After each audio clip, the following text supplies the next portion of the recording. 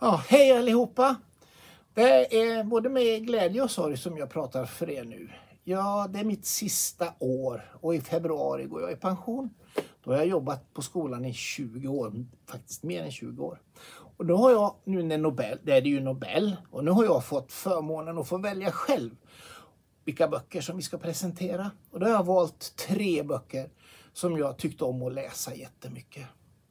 Den första boken heter mitt lyckliga liv och det handlar om Dunne som ska börja skolan och hennes kompis eller vän Ella Frida.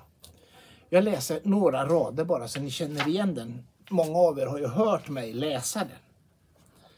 Det är sent, men Dunne kan inte somna. Somliga räknar får för att göra det, men inte hon. Dunne, hon räknar alla gånger hon varit lycklig. Den här är en favorit.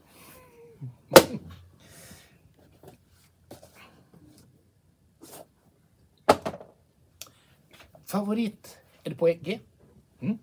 Favorit nummer två. Trolldom i Gamla stan.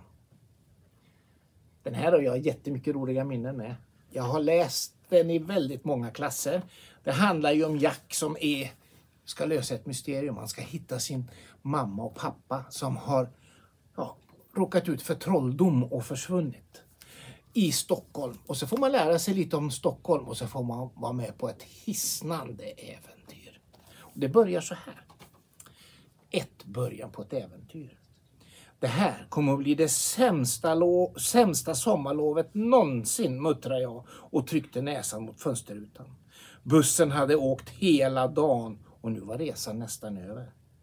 Där utanför susar Gröna Lund förbi, men inte brydde jag mig om det. Jag skulle ändå inte få besöka någon nöjespark. Så är det att vara föräldralös, tänkte jag och slöt ögonen. Fast Jack var ju inte riktigt föräldralös. För han fick ju reda på att hans föräldrar levde någonstans i Stockholm. Men det var ett mysterium. Fyra böcker tog det för att lösa mysteriet. Så, och då finns det en person som är viktigare än alla andra.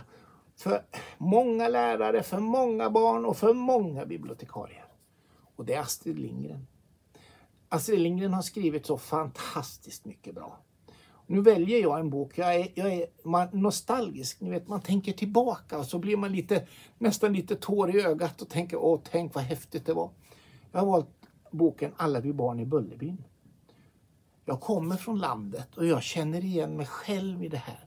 Dessutom så är det ju så att de här barnen som är i Bullerbyn, de heter ju Lisa, Lasse, Bosse, Britta, Anna och Olle.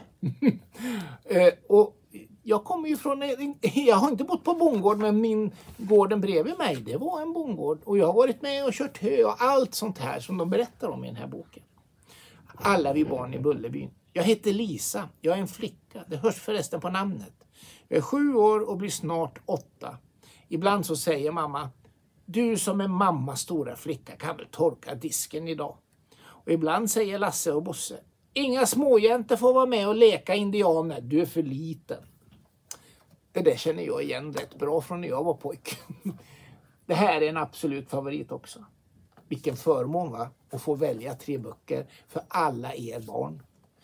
Tack för alla, alla, alla, alla goda stunder. Ni är fantastiska. Fortsätt att vara det och fortsätt att läsa och fortsätt att drömma. Kram på er alla. Hej! Hej!